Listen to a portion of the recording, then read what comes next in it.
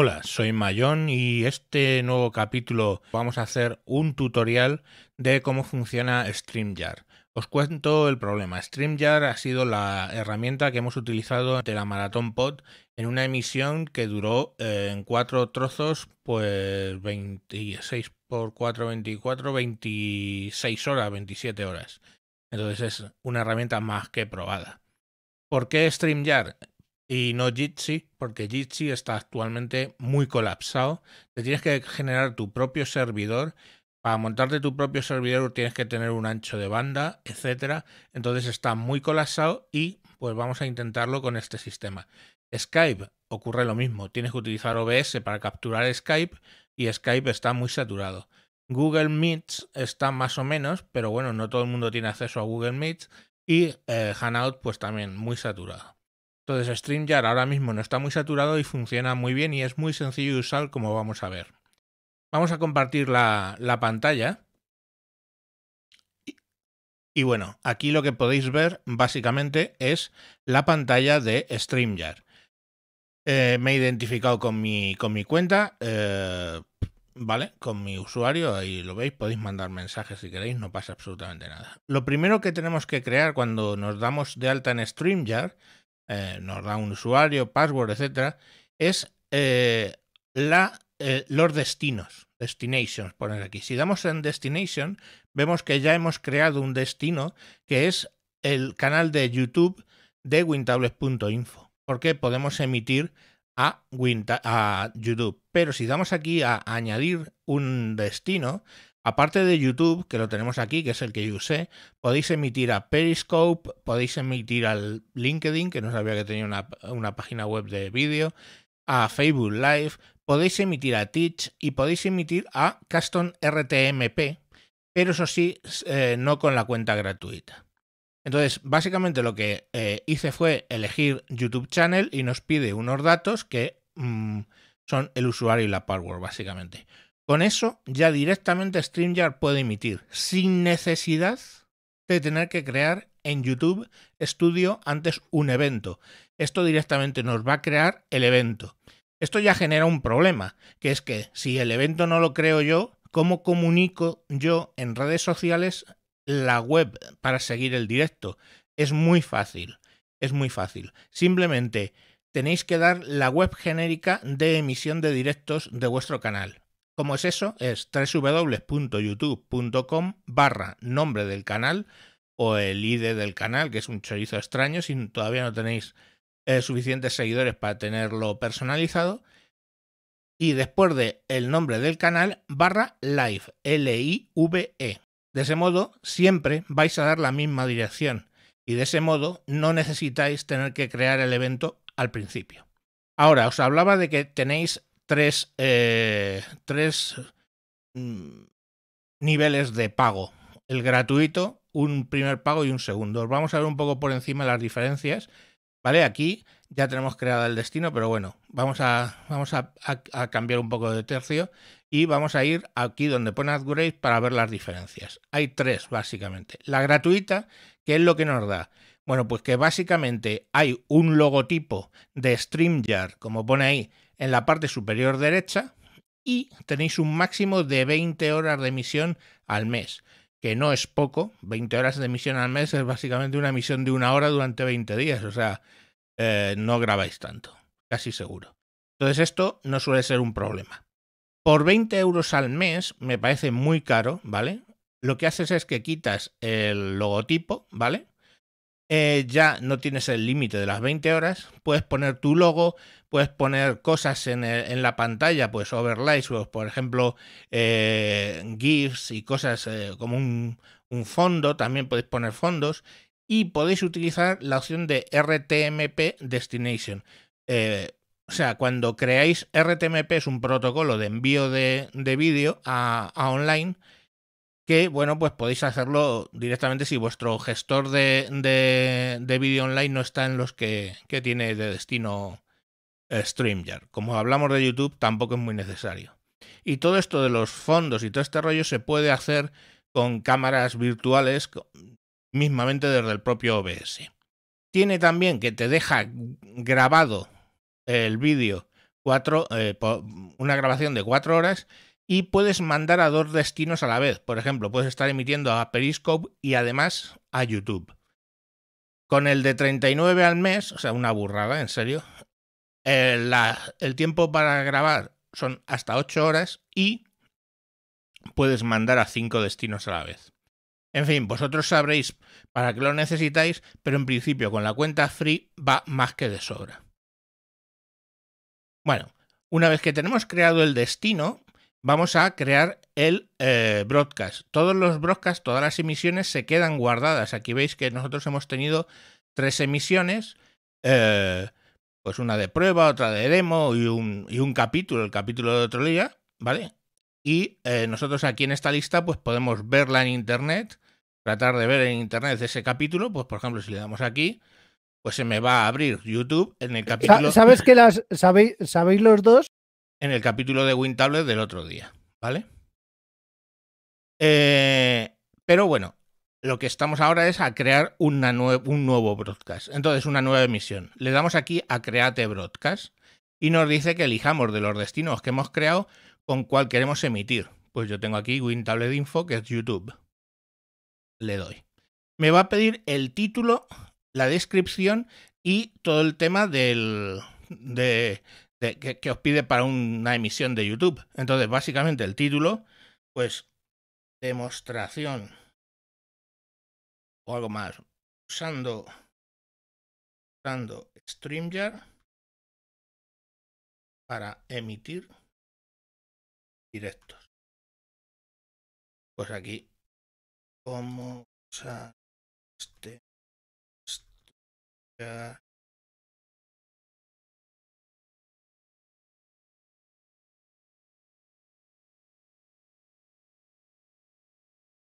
Esto es lo que va a salir en la descripción del vídeo. Y si queremos que la emisión sea pública, ¿eh? que la pueda ver la gente, o sea privada.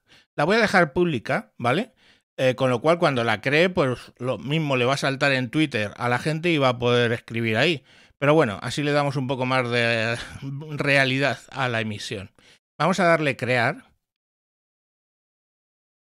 Está creándola. Y en este momento nos va a generar una URL. Bueno, lo primero es que tenemos que seleccionar la cámara que vamos a utilizar. Me está cogiendo la 720p, que es esta cámara de aquí, que la voy a poner más arriba.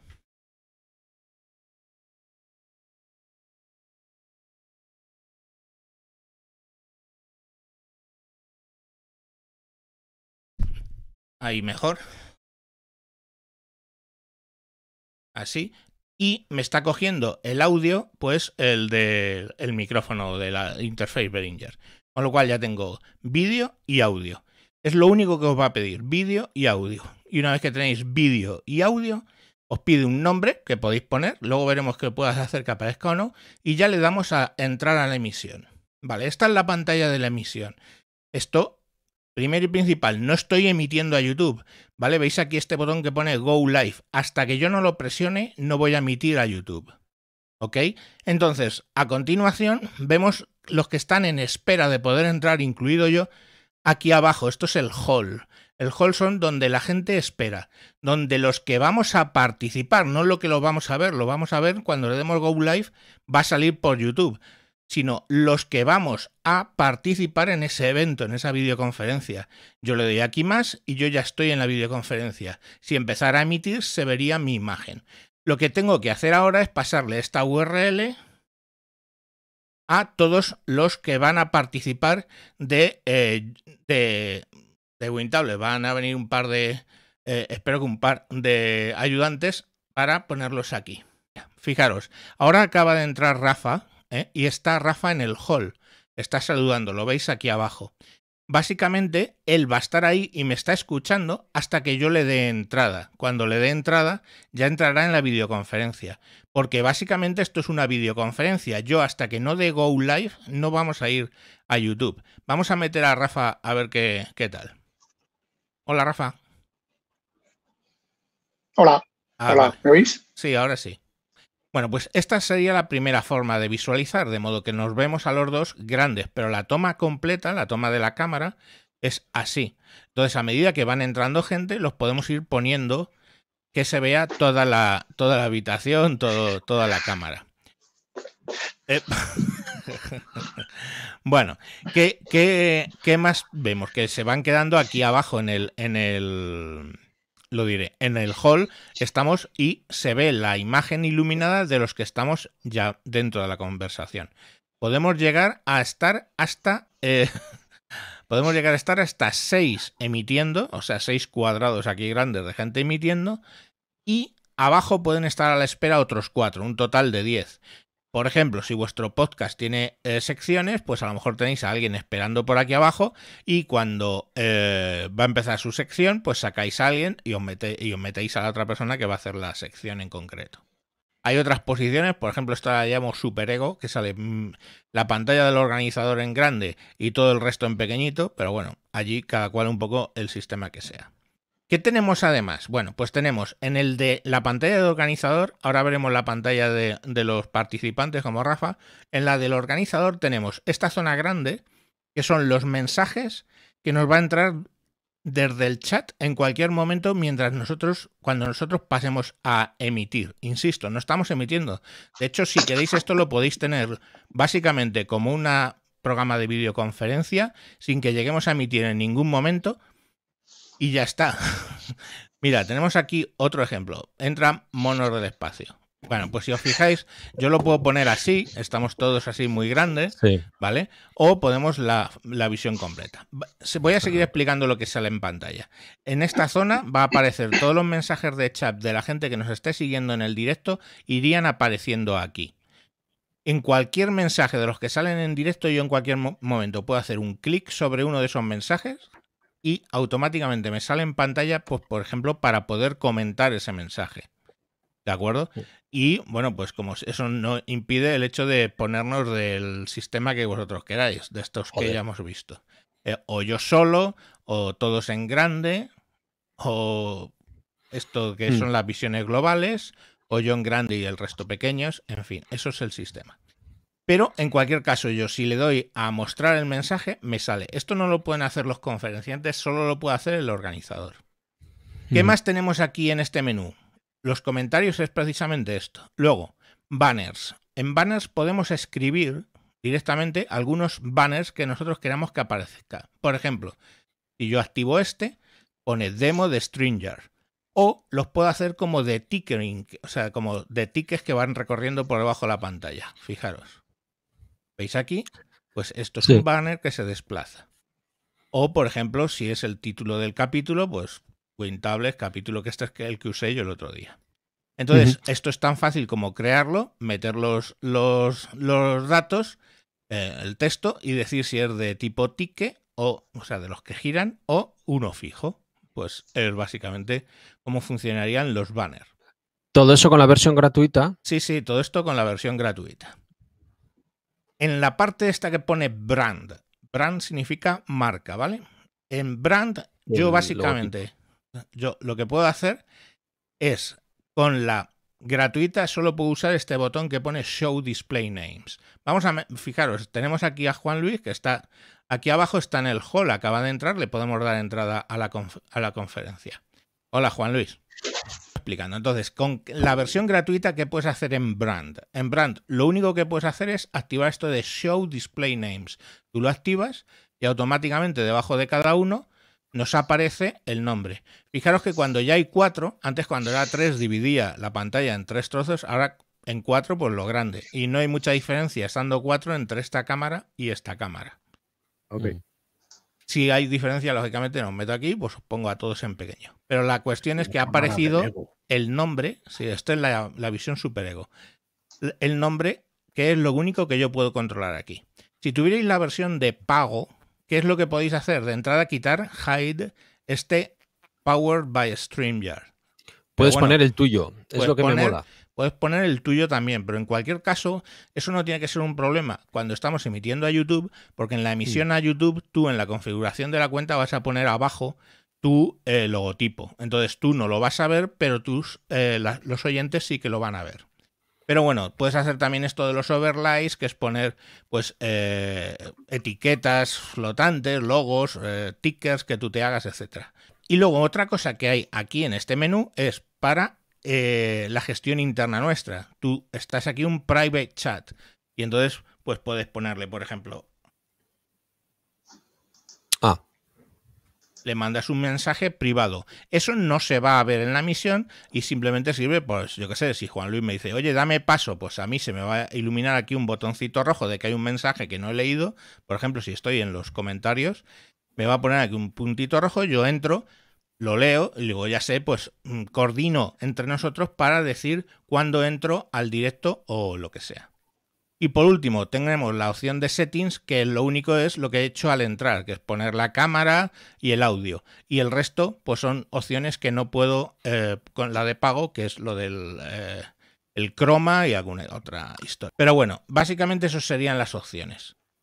A la hora de compartir pantalla, yo tengo aquí estos botones de abajo. En estos botones de abajo yo puedo mutearme, apagar mi cámara, en última instancia, pues no quiero que se vea mi cámara y sale ese logo extraño.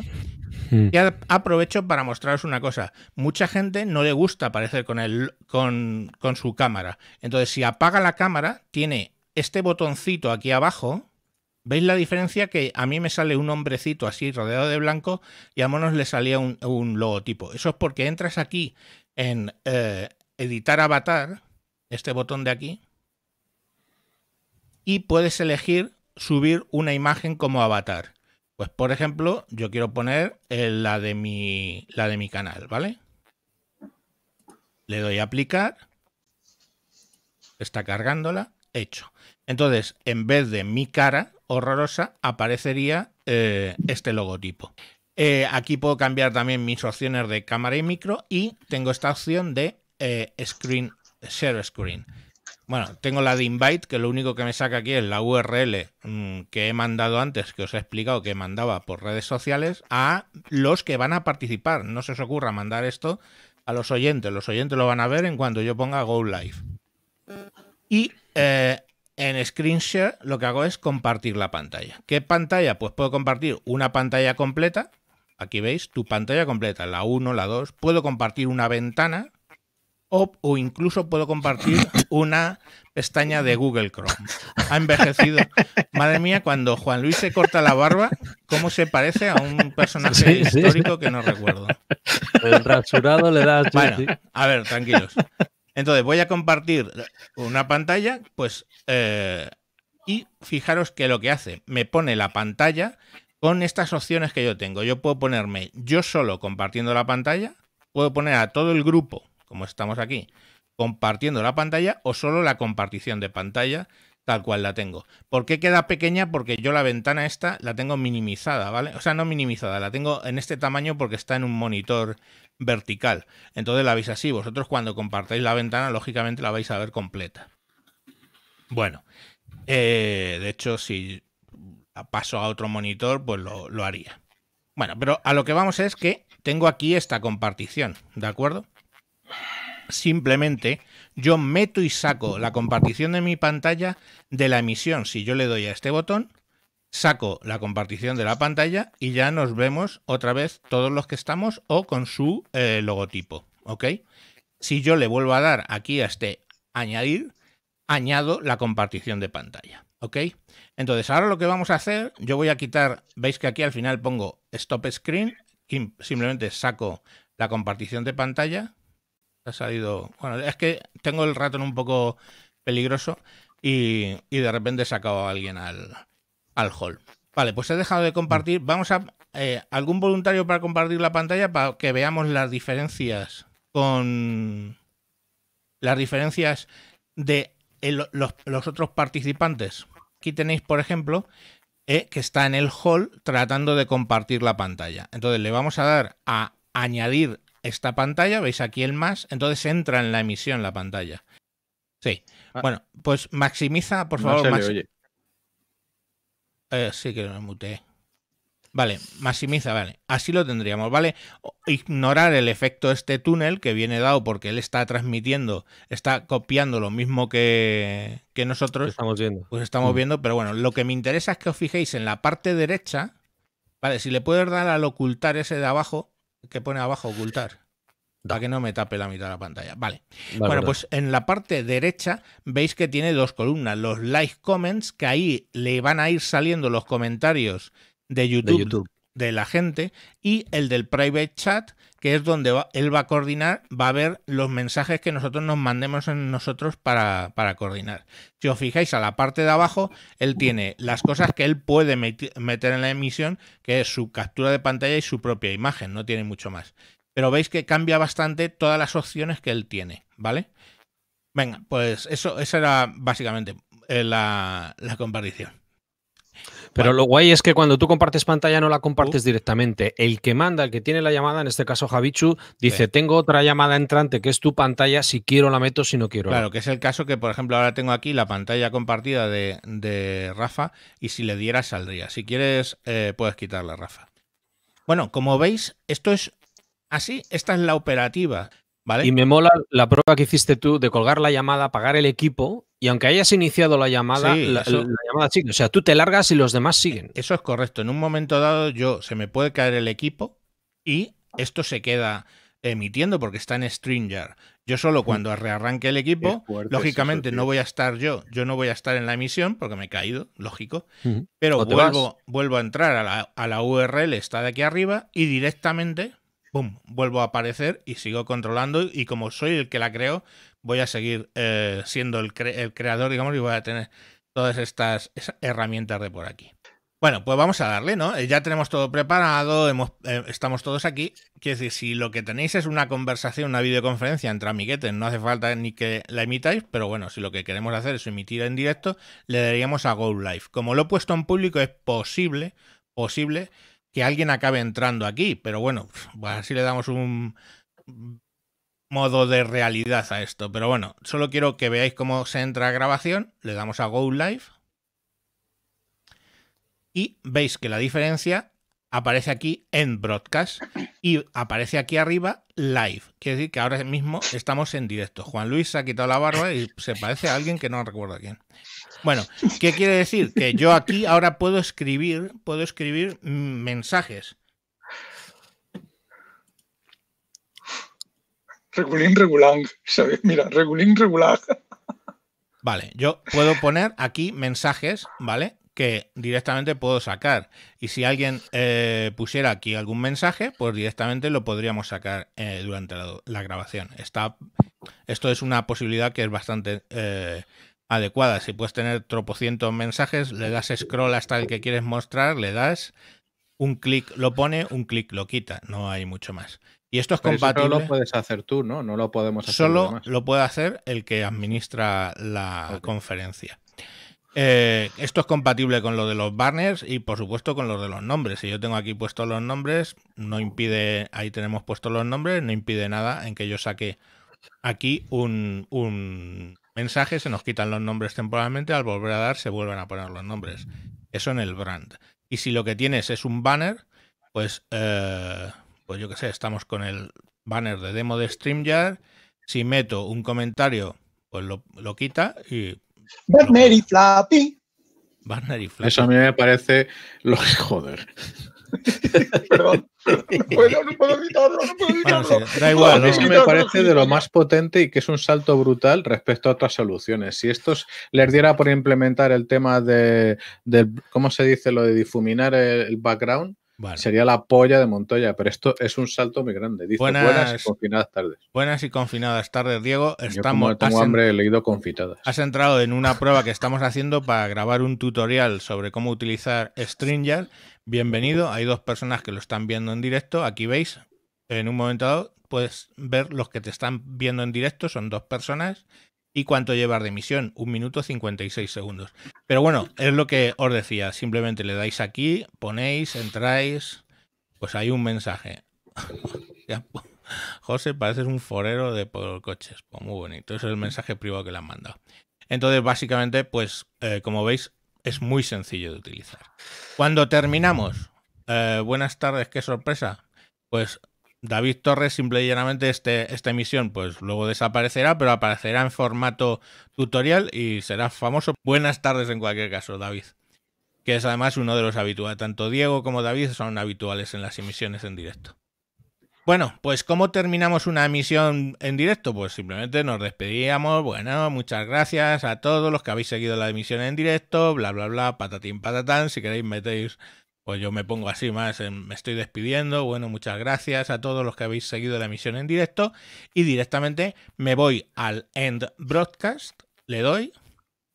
Me dice, ¿seguro que quieres ah, terminarlo? Lógicamente le digo que sí, End Broadcast está terminando y en ese momento, pues simplemente me saca esto que te ha parecido, ha ido bien o mal, pues ha ido bien y manda un gracias, pues ya está. Fijaros que todavía, mientras lo cerrábamos, han aparecido aquí unos mensajes que los podemos ver, pero lógicamente, bueno, pues Rix, eh, pues, serás también famoso. ¿Qué estáis haciendo? Que me estáis jodiendo el tutorial, macho. Bueno, muy interesante, pues bueno, sale ahí. Y si os fijáis, independientemente de que yo ya haya terminado la emisión, seguimos aquí. Entonces ya lo último que haría es simplemente despedir a los participantes porque yo ya he terminado, digamos, la emisión y ahora ya estamos en una videoconferencia como al principio. La emisión ha durado 3 minutos 28 y ya, y ya está, pues os diría, bueno, chavales, hasta luego. Y o se van saliendo o yo le voy dando aquí la patada porque tengo la opción de kick from the studio, ¿vale? O ban. Ban es, este ha hecho mucho el bestia, le baneo y ya nunca más o este Kick Studio, que simplemente pues que le quito, le, echo, le echo de fuera, por ejemplo, y, ya está, se ha cortado. Mm, David que no, no, no se ha enterado mucho.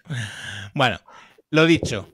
Eh, muchas gracias chicos por ayudarme a filmar este, este tutorial. Luego probablemente lo mismo tenga que cortar algún trozo. También gracias por eso, en vez de emitirlo directo. Bueno, chicos, lo dicho, que muchas gracias. ¿Cómo volvemos? ¿Cómo salimos de aquí? Pues directamente una vez que hayamos terminado, bueno, aquí te tienes generados los enlaces para ver lo que has producido en YouTube. Ahora sí ya tienes una URL normal, aunque lógicamente cuando entres en tu cuenta de YouTube lo vas a ver. Y para salir, pues le damos aquí a Return Dashboard, va a cerrar toda la sesión, todas las ventanas y yo voy a seguir explicando eh, los pasos finales eh, en el vídeo. Muchas gracias chicos. Chao. Vale, una vez que ya he cerrado esa, esa emisión, ¿dónde la tengo? Pues aquí, en mi listado de emisiones pasadas.